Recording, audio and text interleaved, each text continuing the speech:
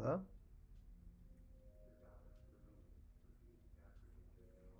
Sound check.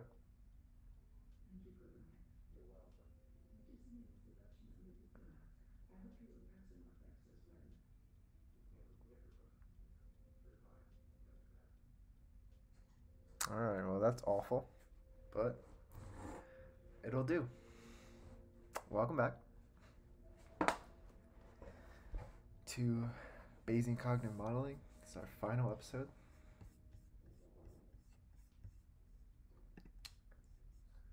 So far in the series, we have gone through and done every exercise in Wagenmakers and Lee's book, Bayesian Cognitive Modeling, a practical course where we have learned how to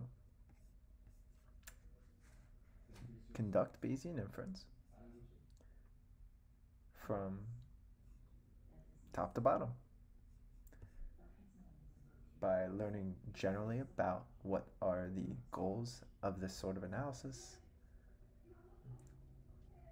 what are the key steps that we are need to take during each workflow when conducting Bayesian inference. What are some of the particular things that we need to know about our sampling procedure? And then we moved into doing some actual data analysis on some examples, but using fake data in order to do parameter, just say standard parameter estimation. And then we moved into looking at some more practical examples or how could we conceptualize doing or building statistics that we know and what we would commonly do in other types of ways uh, to do statistics such as frequency analysis. How do we incorporate latent mixtures? So how do we infer uh, underlying groups from our data? What sort of questions are pertinent to doing such a type of inference in the first place? And then we moved into how could we do hypothesis testing in a Bayesian framework? And what are some of the challenges to doing such a thing.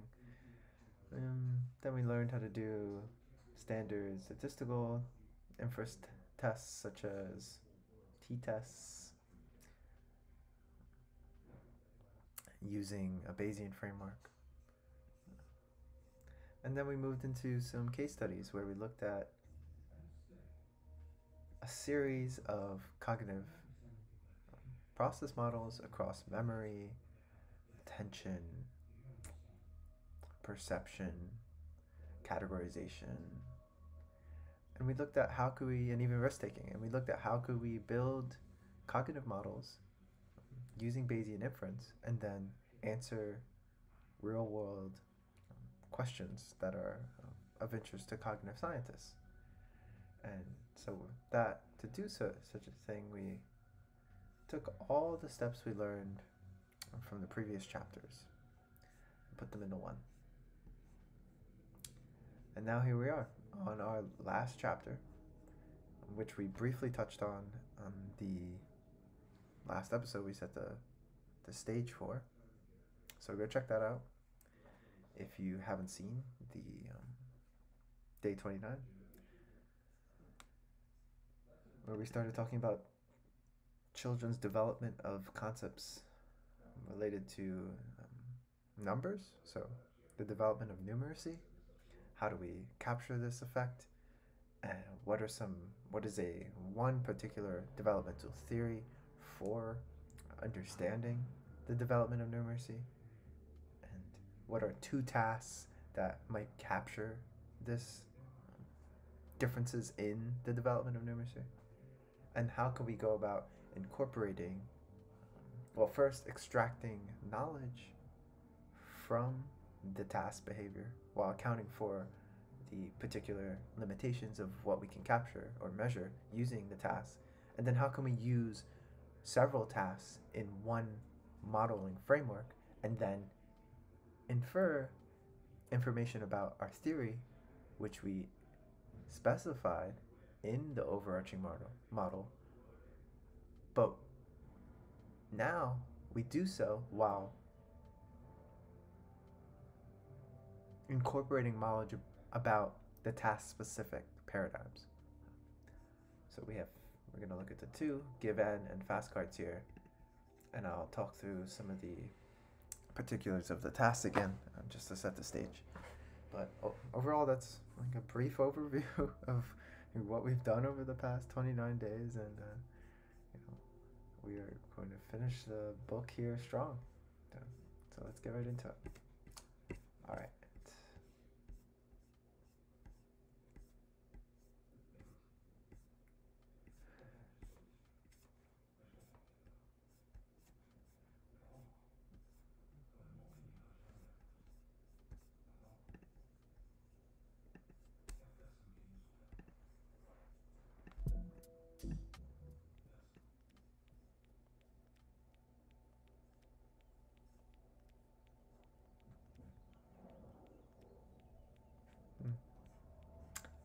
Also. See if I can apologies for the background noise. I'm starting to pick up. I hear it.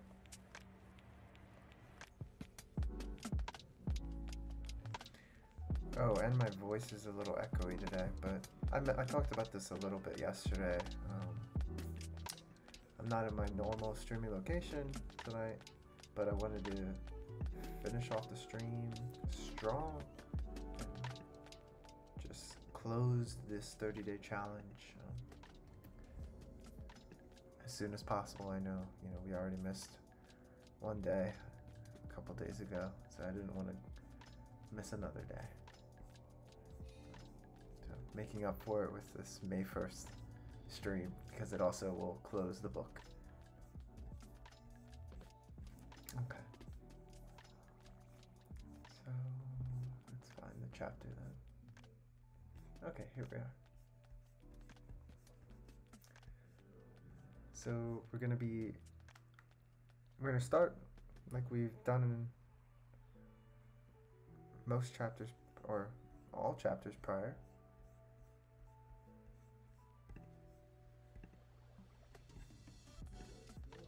We're going to talk a little bit about what's the theory we're interested in in the content domain.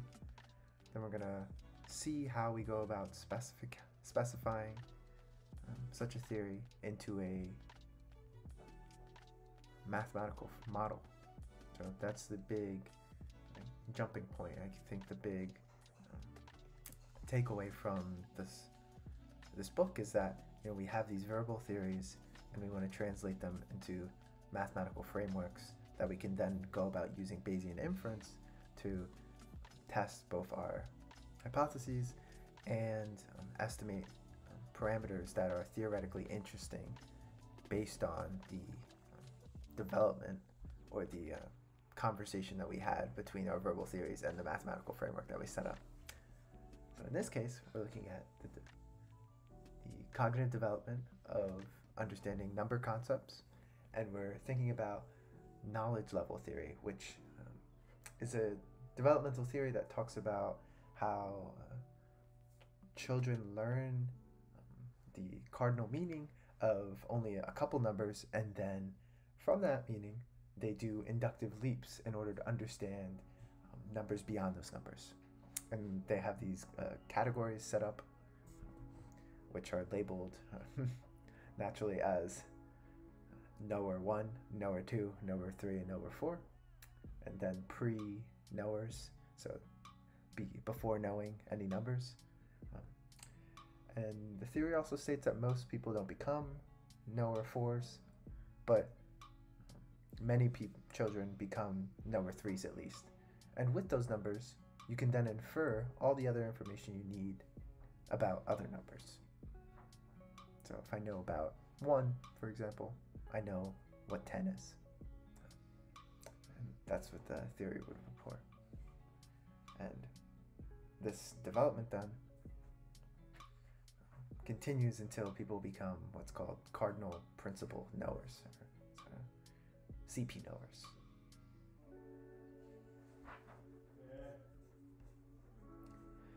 So, in order to assess that theoretical paradigm, uh, they have experimental tasks that have been developed. And the two tasks we're interested in here are the give n and the fast card.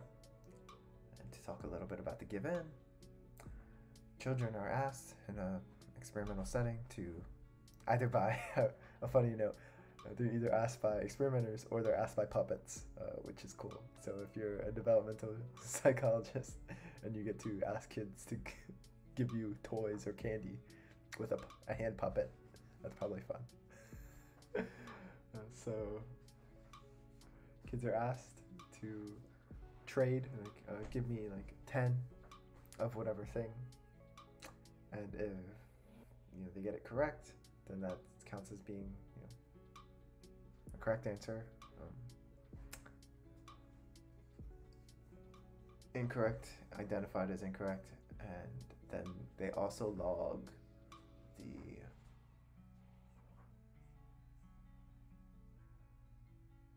size of the amount of items they ask them to give. So, with all that information, they from that task, they're able to infer a child's knower level, whether they um, correspond to the knower levels that I specified above. And then with the fast cards, children are asked to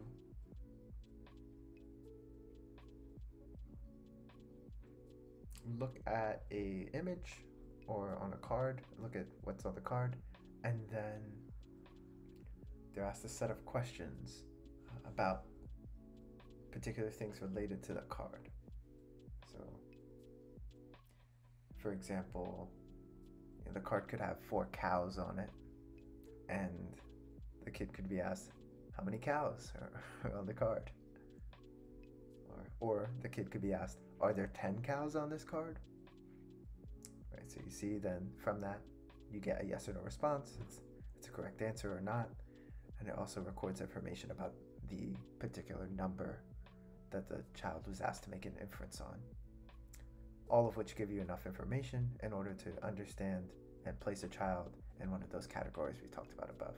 So you see, both the give n and the fast card tasks are two different experimental paradigms that allow us to capture information about a child's developmental theory or developmental stage in their understanding of numeric concepts.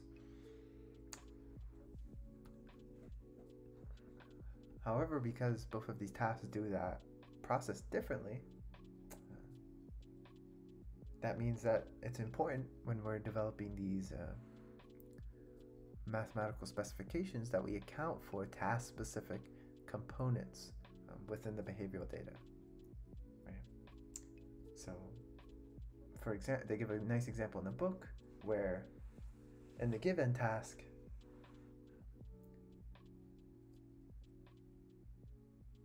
if you ask the child to give you 15 toys and the child didn't know what 15 was, it's likely that they just give you all the toys they had.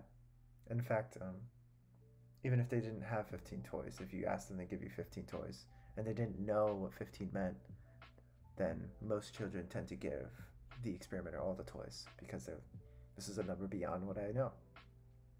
So it must be big. But in the fast card task, the asking kid about 15 is doesn't make sense. Um, there's nothing special about 15 in this task setting.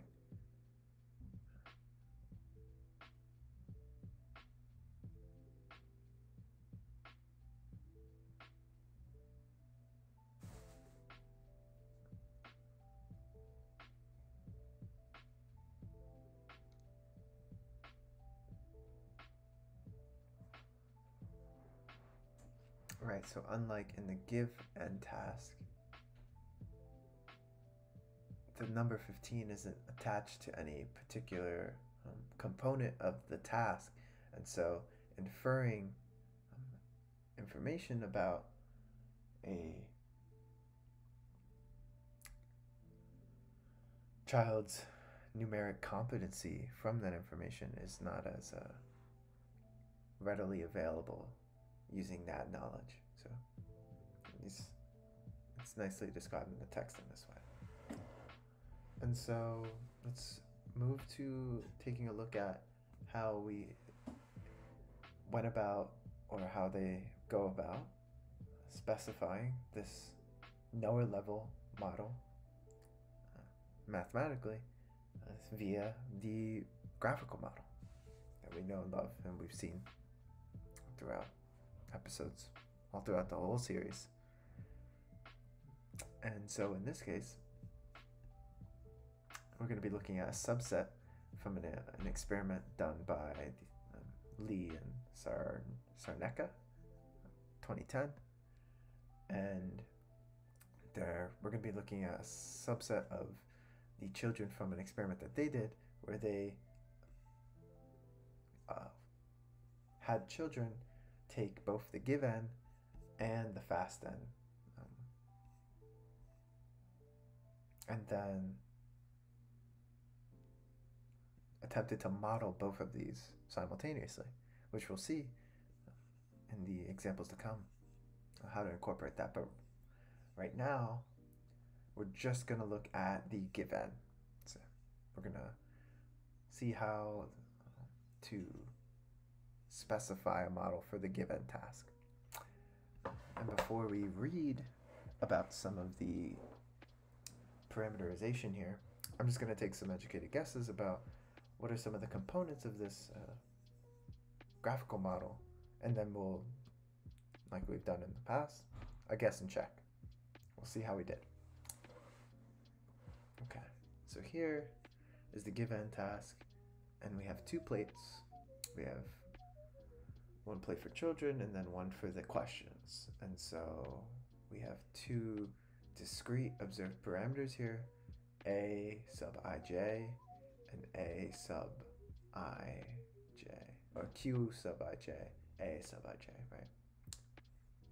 And they seem to be represented by or distributed as a categorical distribution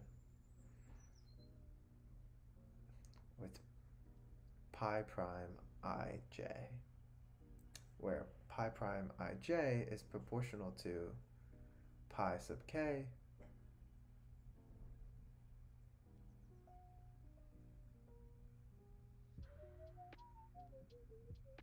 or v times pi ikj or 1 over v times pi ikj. So it looks like there are three different classifications for which pi ikj can be specified. And in this case, so it looks like each child for a given uh, given question for some k specification, which I'm not sure yet, which I think it might represent the, the number that they had to give. Each of those is going to have some pi prime, which is then used to specify a given child for a given questions distribution.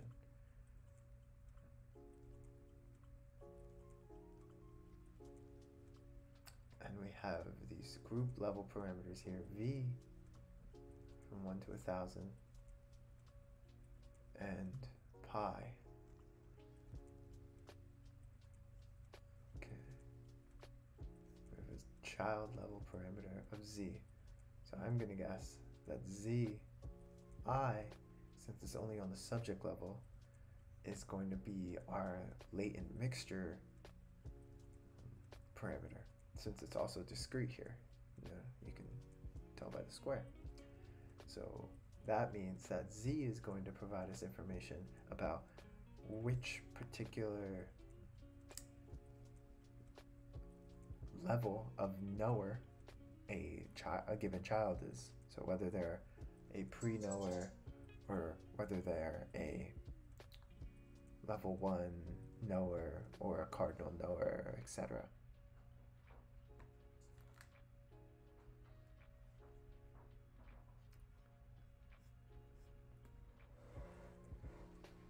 let's get right into it and let's see what the the model says then.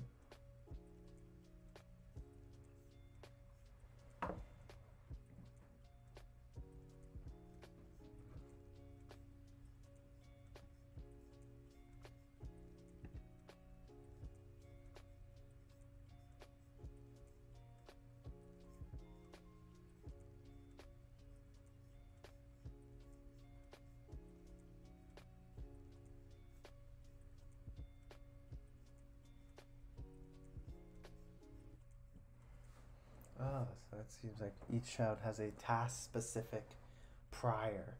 So this theory relies on children conducting this sort of probabilistic updating of their understanding when they're asked a question. So this updating can be explained by two things.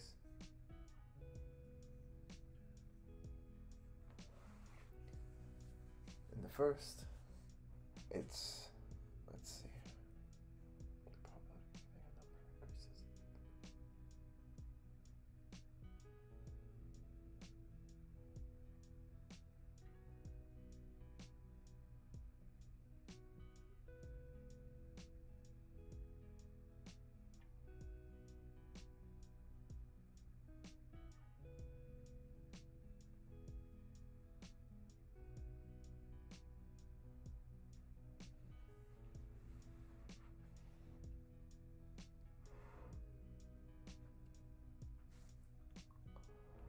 updating parameters. I see. So children have base rate task specific uh, priors on their number knowledge, and two things can occur. Either they understand a number, and when they're asked the number, they understand that number, and then the child's prior information about those numbers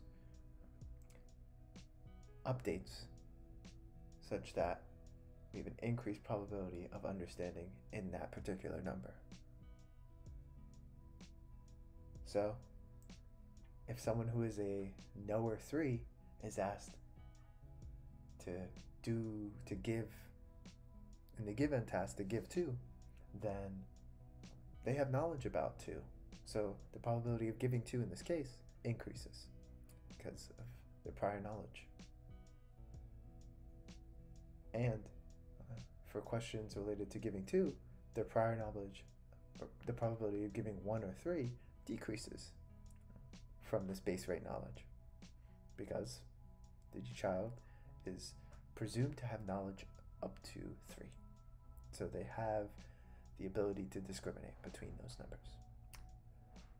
Another case where updating would occur is if the child didn't have information about the number, and thus we would update the probabilities in such a way where the let's see the given number that they gave, the probability of saying that number again. So in this case, if I said give three, and the child uh, gave two, and they're given the feedback that that was wrong, then the probability of giving two for when asked to give three decreases from their base rate num- number knowledge. Though all other numbers would retain the same probabilities ac- across the scale.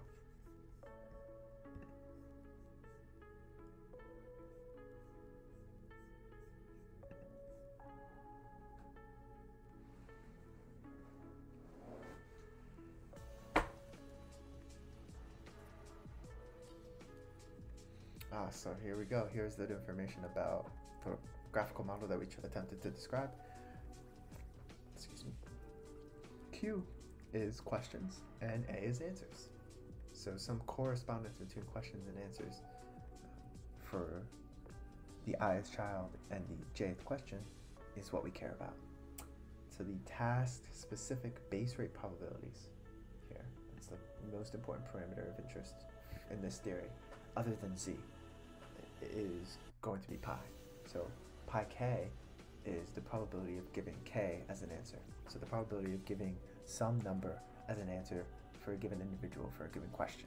So, presumably, um, when those uh, components line up, the probability of giving a particular answer uh, increases. So, if a, for example, if a child was a knower three, and I asked them a question about three, then the probability of them answering that question correct for three is high. And so pi prime is the base rate vector that gets updated uh, across each of the questions in the task. And that logic of how updates occur is the or is formalized above um, in that specification that I described and is redescribed right here. Cool. So the new prime, right? So the new base rate probability for um, giving an answer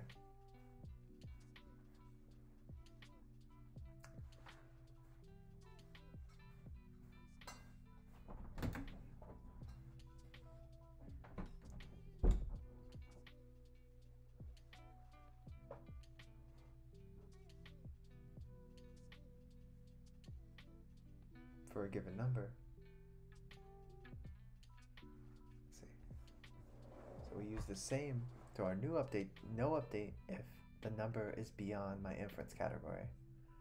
If the number is less than my inference category and k is equal to the question, then uh, multiply my inference category by some value and update it. So it's going to go up. But if it's k is less than my inference category, and k is not equal to the given question, then decrease the probability of giving that answer for a given question. So less likely that I'd say it if it's wrong, and I know it's wrong, more likely I'd say it's right if I know it's right. And no change if I the number's larger than my knowledge.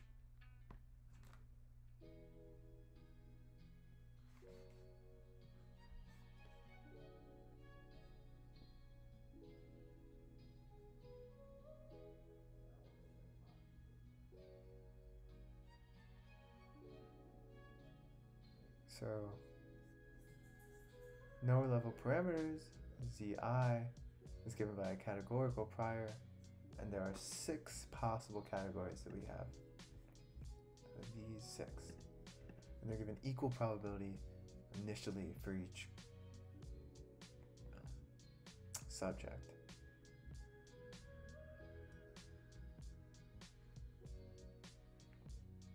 So let's take a look at the Stan model here, or the JAGS model. Since it looks like we'll be able to... Uh, well, first let me uh, naturally throughout the series, or uncommon to people who've watched prior episodes, is that Michael Lee and Wagenmakers' um, JAGS code doesn't have the R files for the last couple case studies. And that's been a common problem we've run into. But it looks like in this case, we won't have that problem. Or we will have that problem because it's only JAGS. It's only bugs and not a JAGS.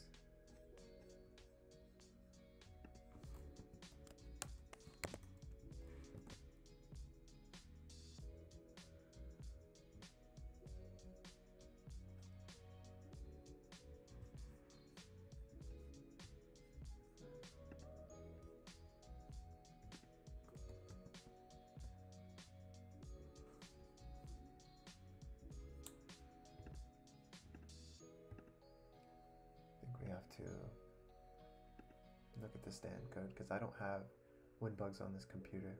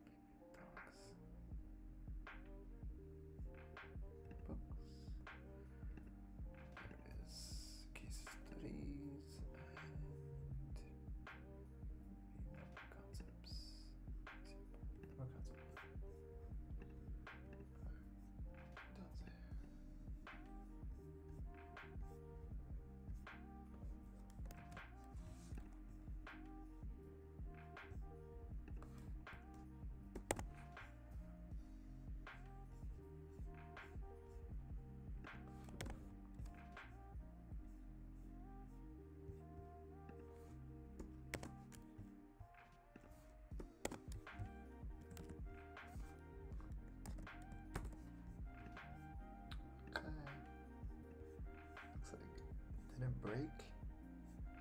That's running, so let's go take a look here. So here's the JAGS code for the knower level model that we just described, where answer for a given individual for a given question is distributed as a categorical distribution with base rate um, pi prime. So that is the probability of giving the answer correctly. Oh. No um, MZ object found. No GN object found. No NS object found. On missing arguments. Error. Alright. Tons of errors.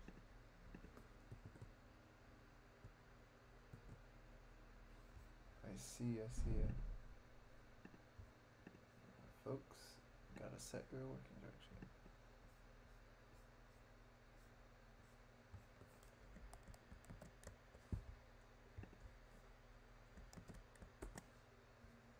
Alright. Let's see if we're catching a crash here. I think we'll be okay. While that runs then,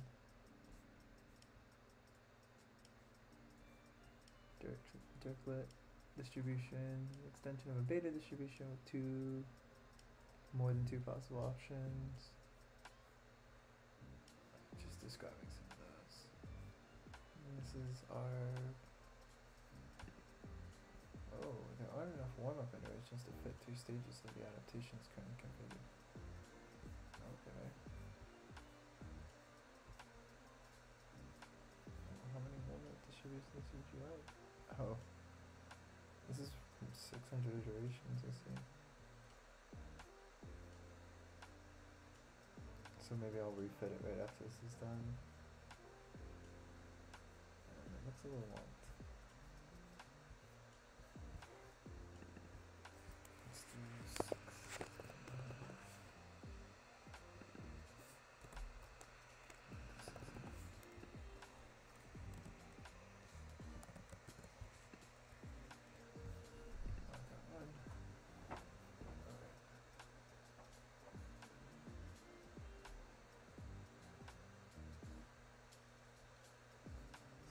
Results. We take a look, the probability of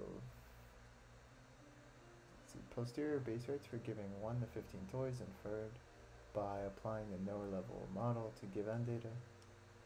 So people are able, or here's the probability for giving any number of toys.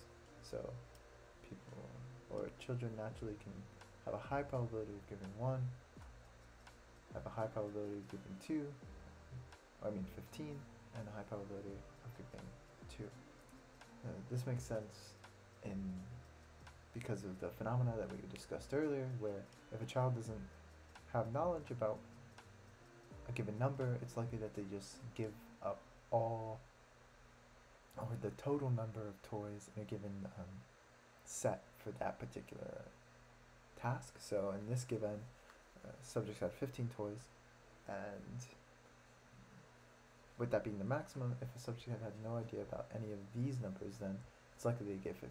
So that's why we have this influx of greater probability in giving 15. And then we see equal probability across 3, 4, 5. Alright.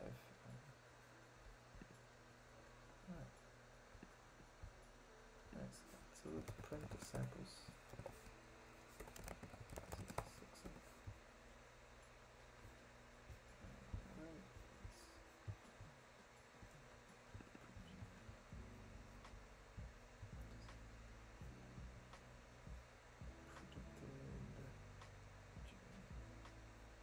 Looks like we get one pretty good fits. Or good enough fits. It doesn't look like we're getting thrown a bunch of errors. Yeah, this looks good. Alright. So let's see the graphs we got to.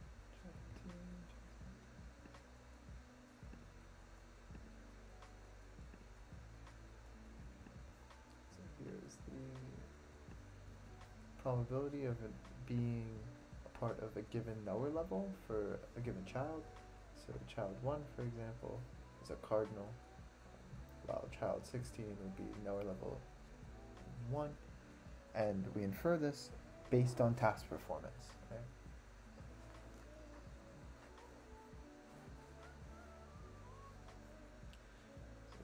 For example, we're not really sure about what knower level child 8 might be, though we're fairly certain child 19 is from level 4 or level 3.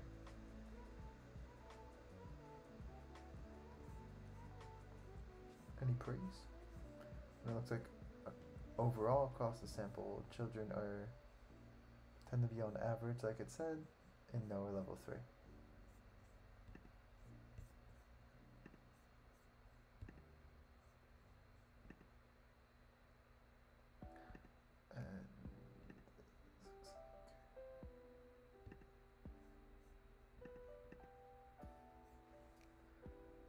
Probabilities for each of the knowers.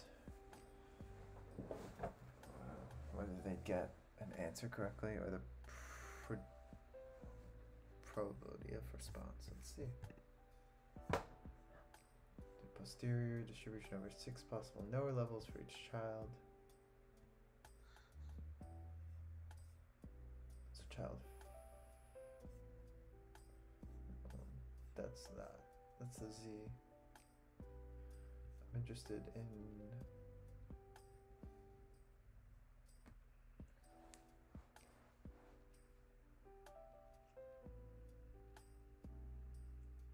between the posterior distributions of the model and the observed behavior for six children.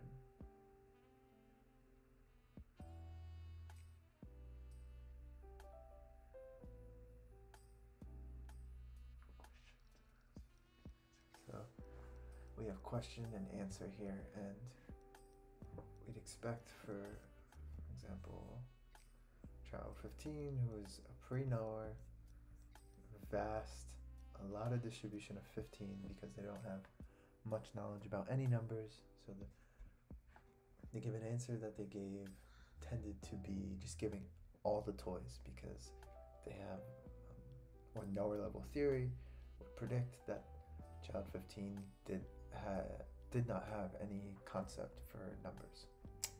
However, if we looked at child 20, we see that for any given trial, the subject answered the probability that the subject answered that question for that number correctly is high. In fact, looks like a perfect score, where across the diagonal we see, you know, even at 12, the subject had 20 had knowledge of 12. So this is a cardinal, or what the theory would propose to be a cardinal uh, principle knower, where they are able to infer information about all numbers on the basis of their um, development in numerical concepts. And then in between that too, so we looked at the two extremes, you can see then um, in cases like this, where once a child reaches their numeric threshold, the probability of choosing a given option tends to just, uh, well, first decrease, though most of the waiting for an answer will be at that maximum. So we see that that maximum effect in tax again across children 2, 4, 3, and 10. And so I'm to look up here for information.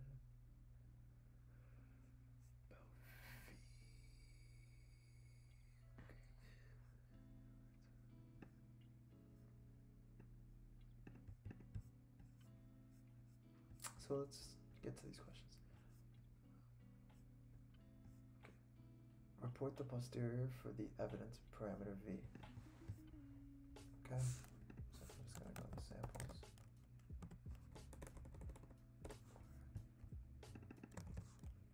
Do this. V, we'll call it V samples. And we'll extract information about V, which I assume that if we look up here, we are monitoring V. So the probability or V to remind, like I went up and highlighted because I saw that this question was going to be asked. Let me scroll past.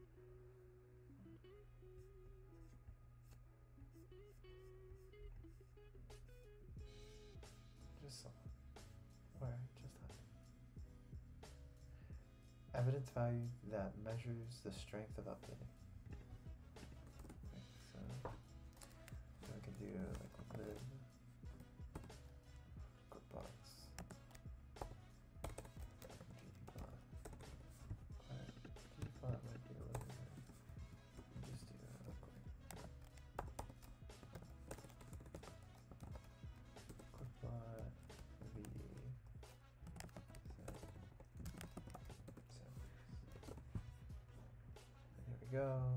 samples.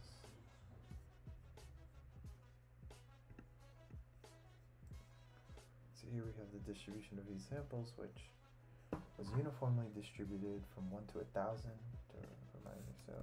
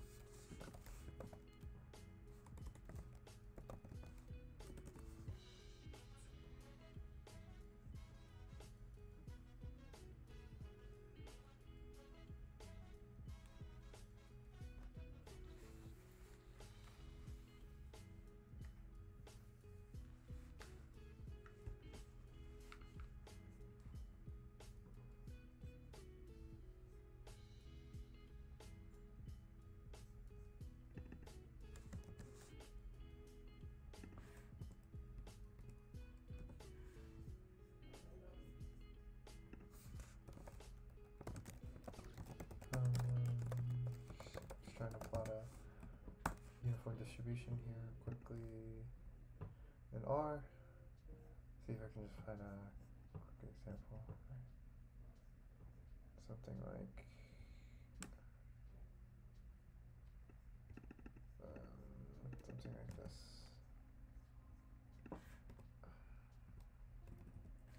I see. I know. I know I'm not getting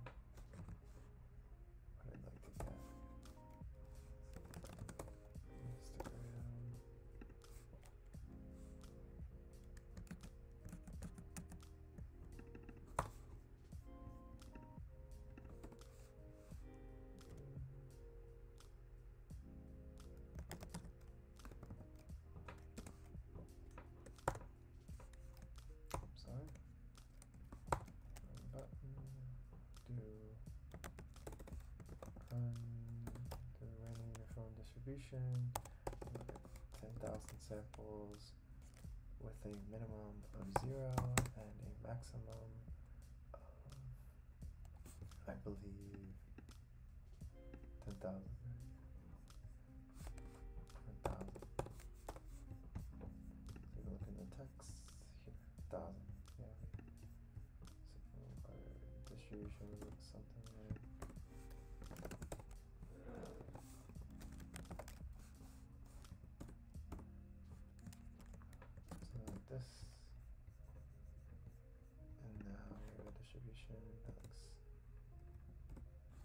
something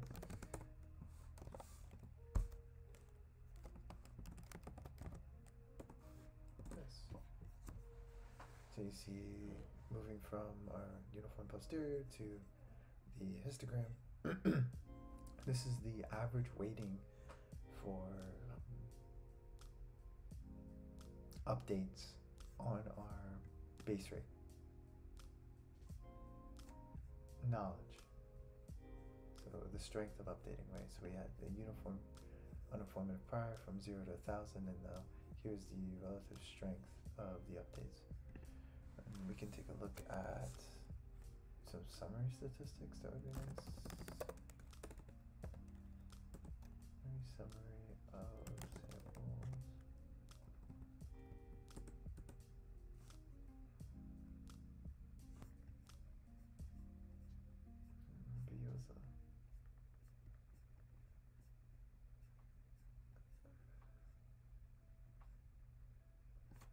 Is down in the stack. If I do this, can be moved up.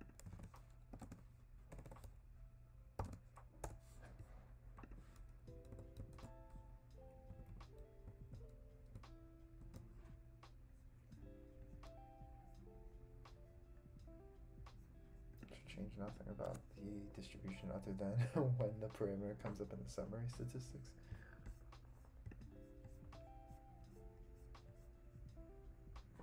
So interpret the distinctive visual patterns of the posterior predictions. Well, I described this answer already. Um, if you circle back, I talked about that a 15 effect and how across the diagonals uh, was a captured accuracy. Cool.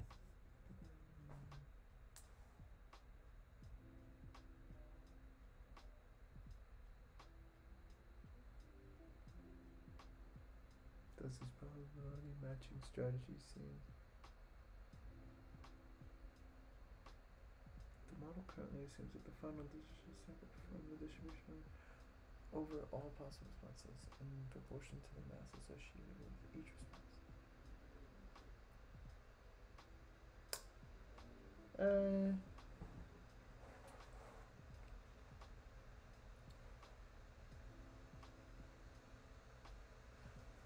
so it assumes that the final sample um, is knowledge from all possible, but it's not accounting for m- memory decay or how we've seen in um, prior models, not necessarily decay, but a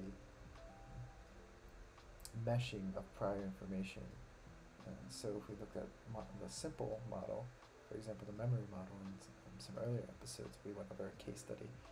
It's possible that the discriminability between um, numbers decays over time, and so we might want to incorporate um, some knowledge about or some information about how uh, the development of or an understanding or an, up, an updating of numeric concepts can also decay over time. So it's likely that knowledge learned um, most recently has a larger effect than knowledge learned um, earlier. Or that's part of what we could expect um, if we were to try to incorporate some kind of decay in memory uh, within our developmental model. I'm not sure if that's what the particular question is asking me to uh, touch on, but I'm just trying to ride through some of the questions, give you some general ideas about what I thought. So let's take a look at the summary statistics here. It Should work. Yep. So average update in knowledge was about 83, and we, we sampled from 0 to a 1,000, so that's pretty strong evidence. And it's, well, there's quite uh, an amount of variance in the, type of updating, and that makes sense because for uh, this is the strength in updating is in some sense a a measure of learning, right? But for this is across the overall sample, so how much weight did um, updating your prior about a number? What what was the strength of the update? Tended to be across the, our entire sample, but you can imagine that we could have individual differences in this updating where a subject who maybe was learning more quickly, updated knowledge about numbers uh, larger, or I had a larger base number there.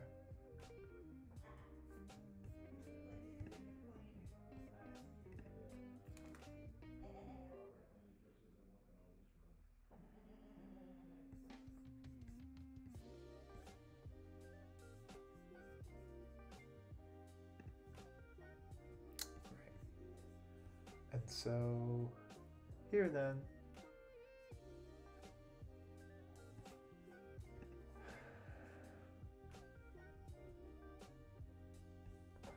Explain why the distribution shown in 19.2 is not exactly posterior of the base rate pi.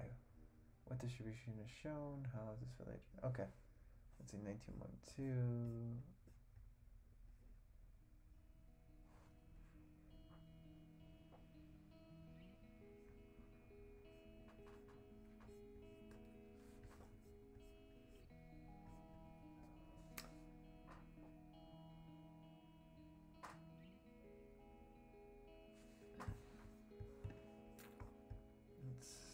answer this question, we can take a look at the code and see the plotting for that particular. Let's make sure that this is what we're talking about. Yep. Okay. So what's plotted here is the predicted pi and why is predicted pi not representative of pi?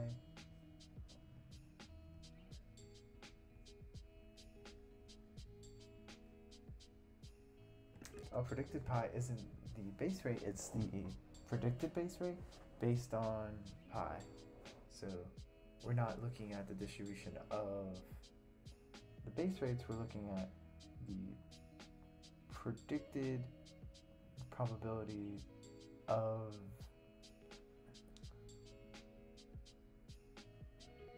a number corresponding to an, a correct answer before any knowledge about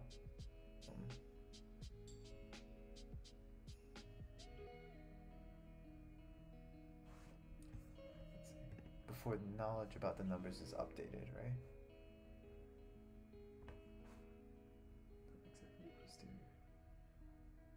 So it's a posterior predictive check. Oh, no, no, no, it's a... Yeah, the updated base rate parameter here. So it's still the posterior distribution, but it's demonstrating what would be the spread of of the correct answers given the updated uh, posterior. So this is a way to check the quality of our model, um, posterior predictive check, which wasn't as discussed, or there was a pretty hefty discussion here, but I'd say that most of the discussion in this book talked about doing or building uh, models from the sample parameter set. And there are other strategies for doing posterior predictive checks not assessed here that incorporate um, machine learning strategies, though we won't touch on those in this um, series. But I do recommend you go and check some of these out because they're sort of the in vogue way for checking out of prediction sampling for posterior distributions, which is important if we want to use these models in the real world. So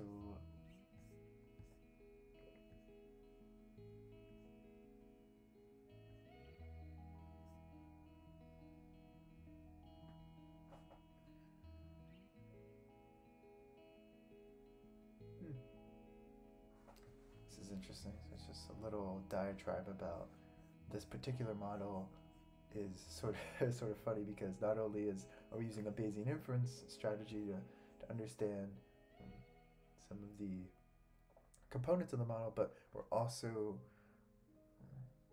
taking the idea of Bayesian updating to develop a uh, cognitive model for how this uh, probabilistically is occurring within the mind of a child. So we have this notion of Bayes in the head, where Bayesian inf- inference is what the mind does in some sense, and we can try to account for cognition using a, a Bayesian framework for how the, the the brain is updating or how the mind uh, updates information, which is a contested approach uh, for understanding psychological phenomena. However, um, that's one way to think about it.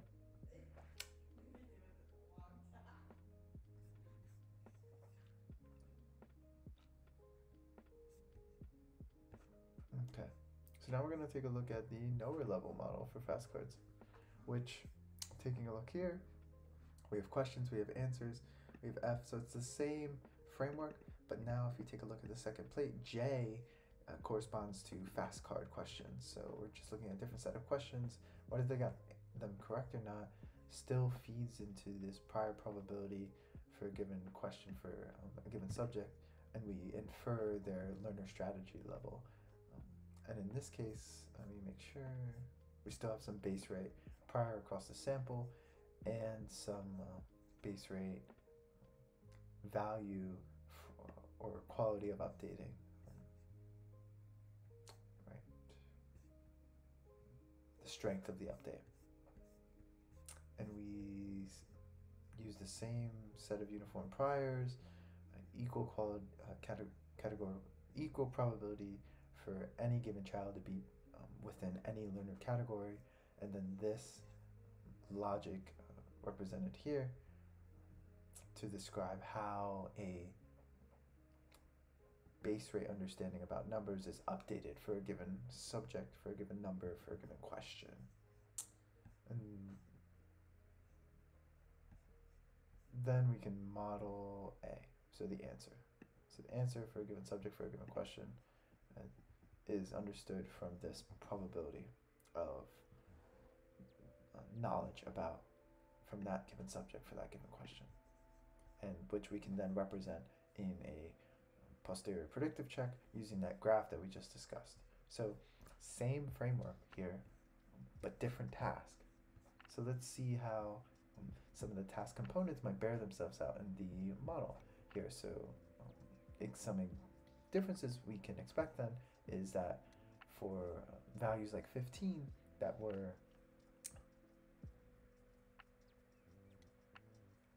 a component of the fast end task that was particularly relevant and needed to be accounted for might not be as relevant in, in the uh, fast card task. Because you know subjects aren't just going to give in all the toys that they have um, because they didn't have a knowledge about the number right? So it's less crucial in terms of our uh, or won't be a component that we need to account for when we're interpreting the predictive models for the number number um, number of probability of answering a number correct for that distribution or it shouldn't be. And we'll test that. So here we go. And here's the number for the fasten task which we go up notice the distribution of numbers we can ask subjects about is larger and that there's no longer this spike in answering 15 because there's nothing about this particular task that eh, makes 15 as a value theoretically interesting. So this is a task specific component that is bared out in our behavioral data. Um, and we only have knowledge about this particular spike because of our understanding of the task specific components. And so once again, we can take a look at the probability um, distributions for uh, inferring a given subject, uh, here children being from any of the particular categories, and we see there being correspondence between some of the uh, classifications here where subject 20 is still, you know, a gold noodle, golden star child knows their numbers and was still able to answer things like 50, um, or at least guess 50. But we can take a look. Uh, let's see. Is we can take a look at the probability of any given category now, looking at or answering a question correctly. And we see for those CP knowers that they really uh, have a lot, um, a good sense on applying numbers up to a certain extent, and then on average, then some knowers can move beyond that. But you know, it, it, this perfection curve or this really really accuracy caps out around ten, or at least uh, that's the limits of our graph here. But we saw that we asked subjects up to 20, 50 or some subject answered 50, but looks like we asked from 20.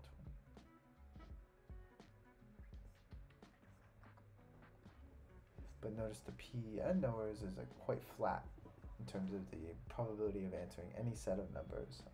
But it's not likely that they answered anything really high because knowing what those numbers are is very unlikely, um, given that the child has even no numeric concept for things like one in the first place.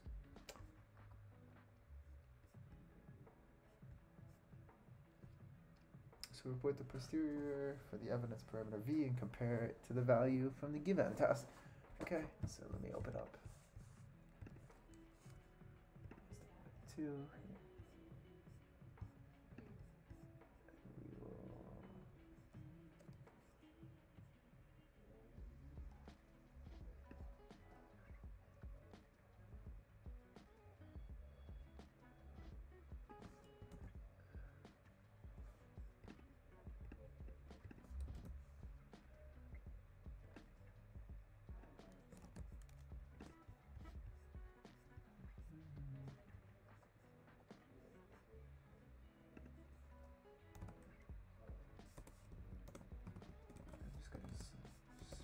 Stuff around. Look, it'd be easier by moving it there. I'm gonna increase this to 1600 and we're gonna do the same amount of warm-ups, 600 warm-ups here. And then add here the extract of the samples and test the distribution. Okay. And, uh, let that run the posterior distributions over knower levels to figure so right so how did these correspond with these? And like I said they look like they correspond here so we saw subject 20 was spot on. Let's look at child 1 child 1 pretty spot on still right? Is he but what about lower? So those are for higher. What about people who are not so good? So child 8 and child, uh, see, child 8 and child 16. Let's see. So for those child and child 8, well, child 8, so while we had this variability about where they were, now we are pretty confident in uh, where they are. Child 16, same. So it seems like we're much more confident about a subject's uh, place, at least for these particular two subjects. However, if you look at subject 19, we're less confident. Subject 17, so let's take a look at 17 and 19. And given 17 and 19, though, we are confident. So what we see then, or what we're able to see here, is that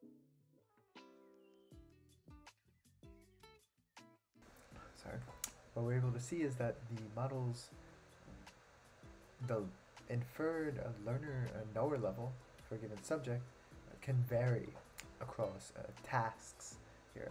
So it would be interesting to uh, combine information from both tasks in order to understand the knower level for a given subject, uh, especially since that we would make different predictions about what uh, a given individual's knower level might be based on their task performance.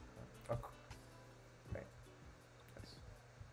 So let's take a look at that chart. Oh, straggler right there. Oh, he's the V samples from the first. He's the V samples from the second. So you see the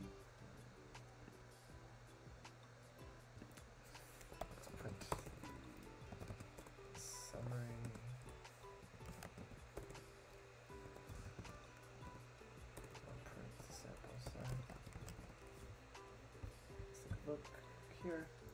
Now the average update is much much smaller.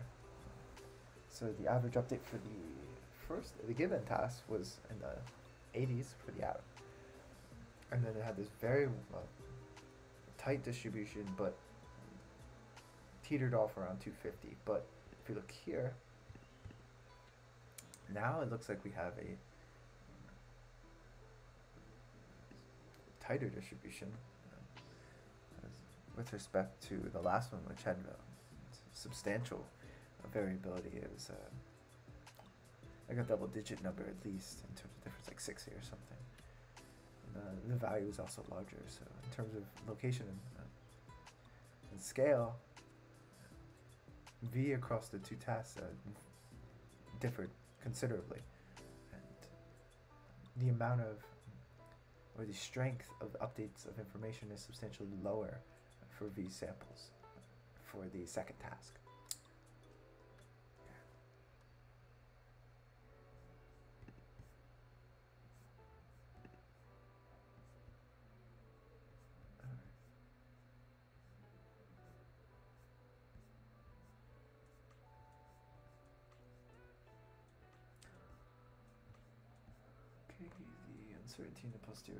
1998 always involves adjacent.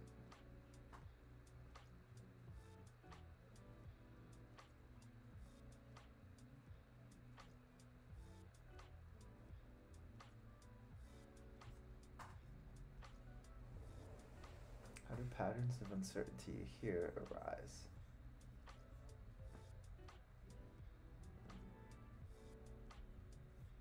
Yeah, having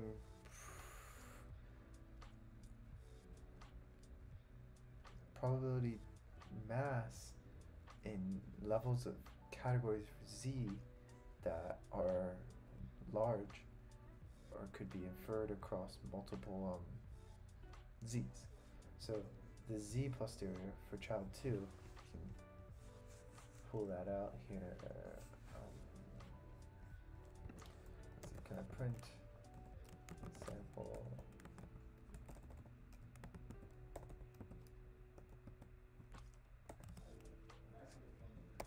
Print samples here, and we'll print sample for two.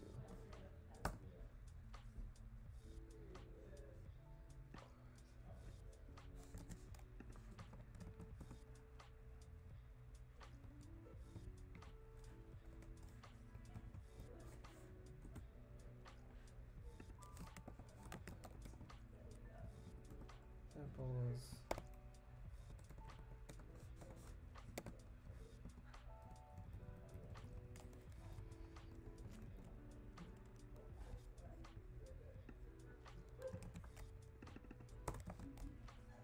Extract sample Z2.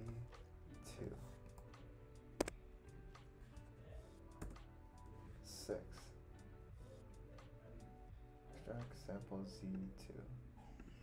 Let's do a summary of extracted samples.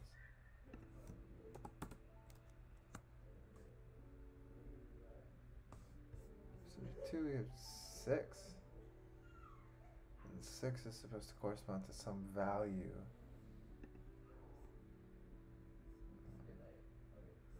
So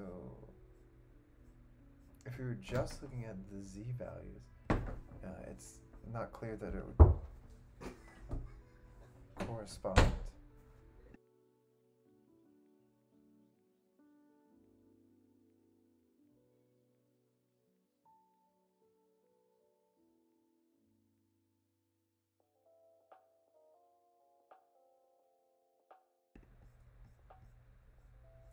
It's not clear that um, the z values represented as just these um, numeric indicators for which category it's from.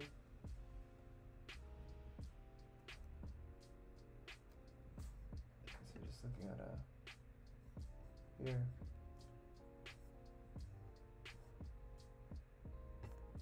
Across each of the 20 subjects, each of the, in this case, uh, 2,000 samples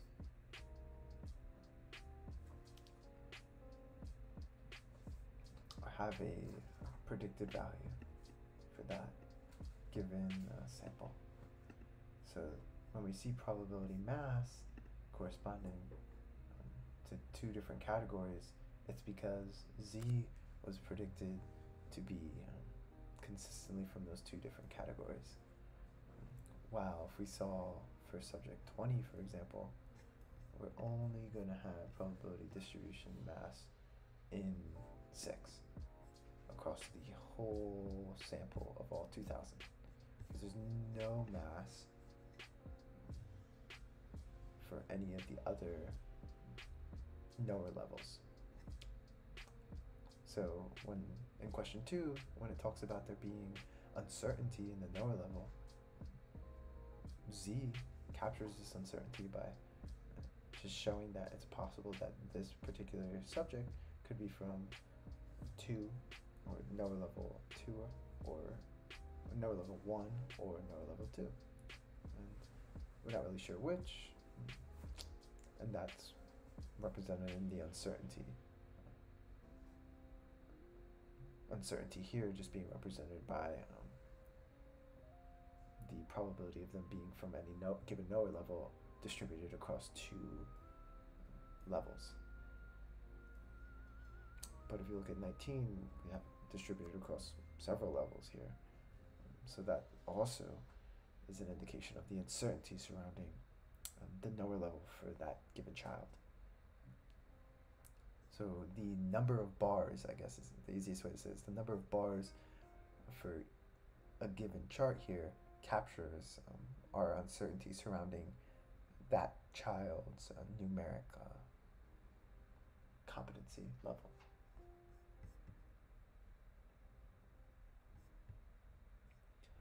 Okay, so lastly, last section of the book here.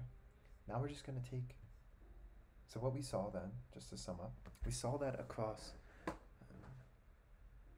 both tasks, we will, were able to infer information about a given child's knower level and then predict or understand or, or predict across each of the numbers what was the probability that um, on the group level a given child would be able to uh, correctly identify that number and answer a question correctly.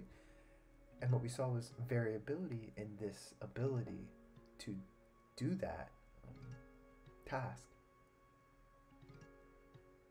across both tasks. So to say that again, the given and the fast cards task had different predictions for a knower level for any given child. So for a specific child, so for example, for child 19, we saw that the given task predicted that that child was from like knower level 3 or 4, but the fast end cards task was uh, distributed the posterior distribution across like four knower levels. So that task was unable to discriminate what knower level the given child was from. But though both of the tasks are couched in this theory of levels, and thus we're able to classify subjects into this theory using both of the tasks. So we should be able to then conceptually, since we're using the same uh, parameters here, to just incorporate information about both tasks into the inferred knower level group for a given subject. And that's what this final model does here, where we're going to have uh, base rates, and update um, strengths for each of the knower levels. So this V's to the power of G or F, G being representative of one task and F being representative of the other. And we're just combining both of those into a single model and then allowing Z then to be described by information from both of them, both models. So we should see some correspondence in the predictions between um, the two tasks. So for subjects like subject 20, where they were they got all the questions right for the first task, and then they got a lot of the questions right for the second task. The prediction shouldn't change if we incorporate um, information from both models.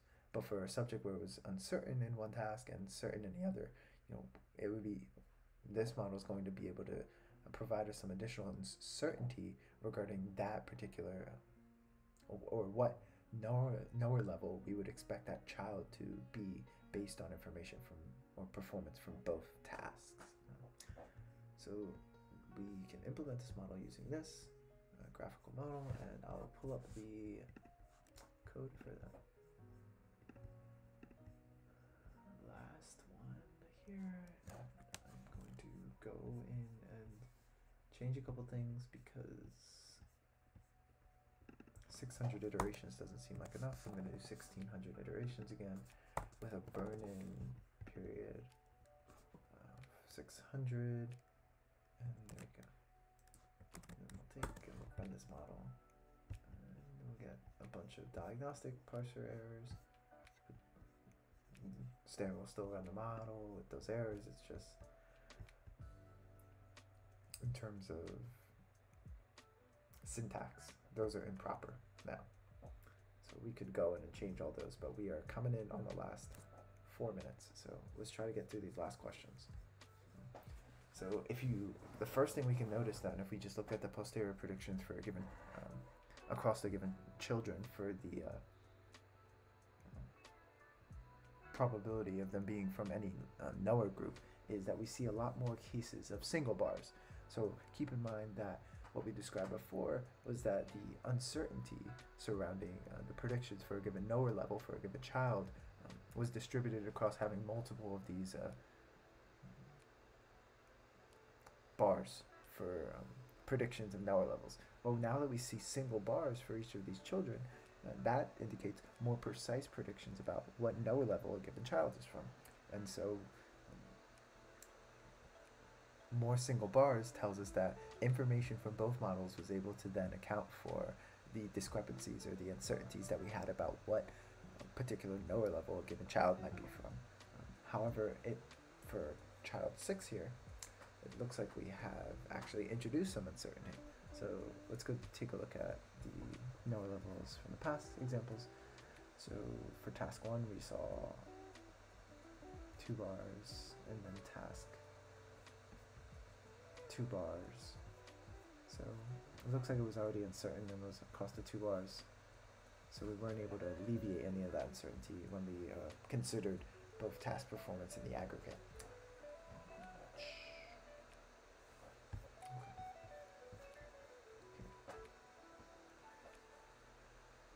And then we can also look at the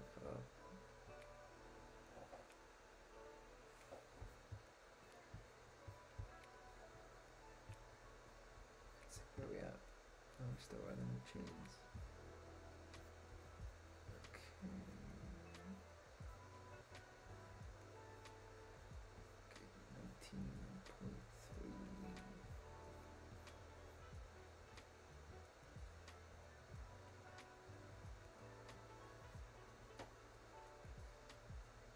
Right, so as we already said, the childs are confidently inferred to be known from a single lobe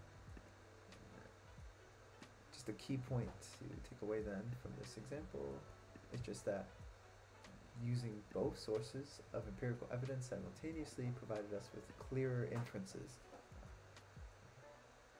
And another interesting component about this is that we captured information about the overarching theory from two different tasks.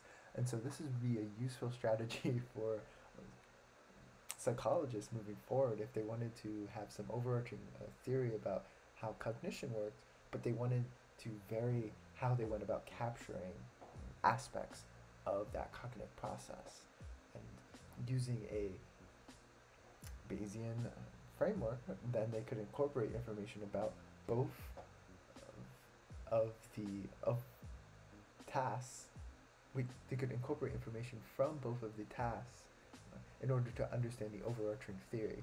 But people don't take this uh, next step, right? They normally just infer information from the parameters from their model and they'll try to uh, corroborate uh, information across tasks into one um, unified set of parameters that could then be used to infer some characteristics about cognition in that um, population. So lessons to be learned here in terms of good psychology.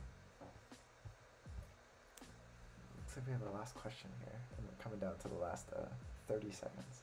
So I'm gonna go over us a bit to answer the last question. Let's see what it is.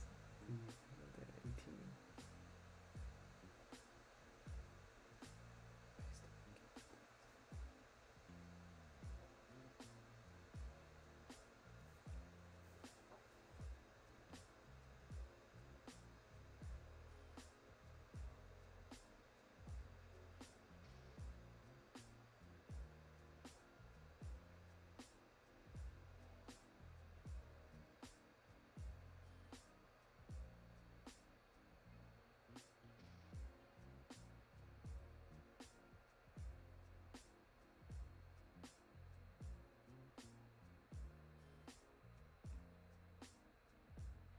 Okay, so we have the answers for a given subject, and it wants us to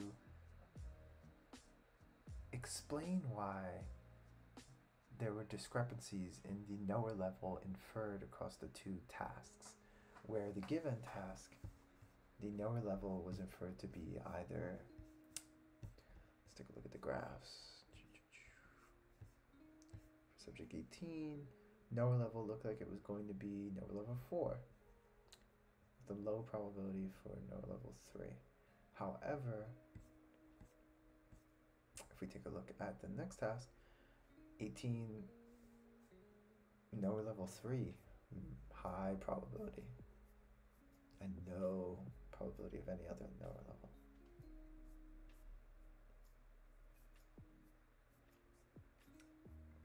But when we look at the combined probability between the two models, we end up with being knower level 3.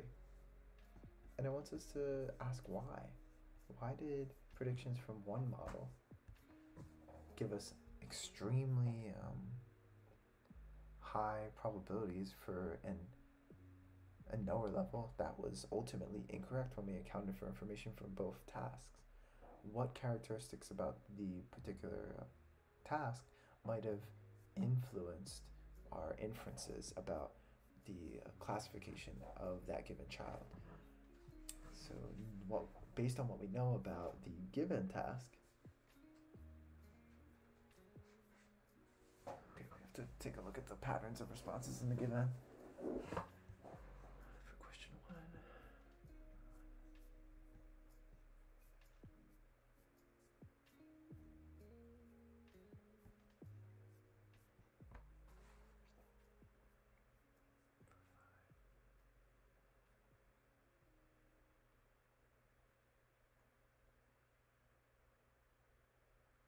Well, it's clear here that if we take a look at the combined answers, the subject performed perfectly up to three, and then performed relatively well on question four for the given task, with responses four, five, and four, and then for five, they horrendous, right? So that's why probably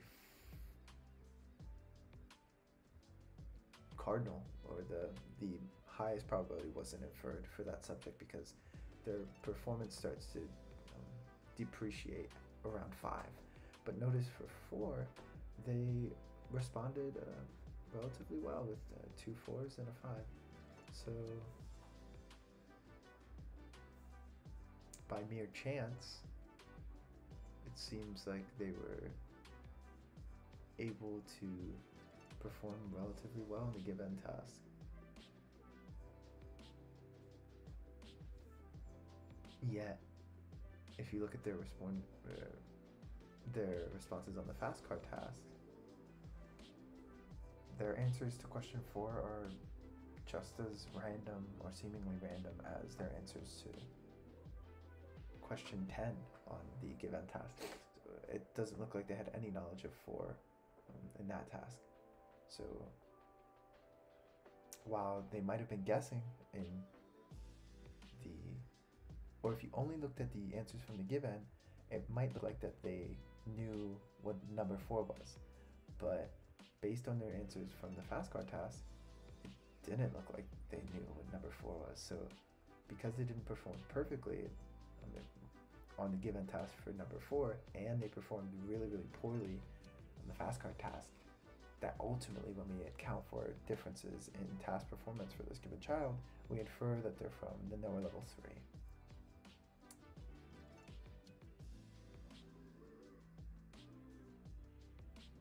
And that's the answer to the question. So that's the, all the questions in the book. Thank you for following along for the series. Here are the references. We have officially done it. I hope to try to do more things like this in the future. Um, maybe not live streams. I have some uh, projects on my mind um, that I'd like to try to do in this setting.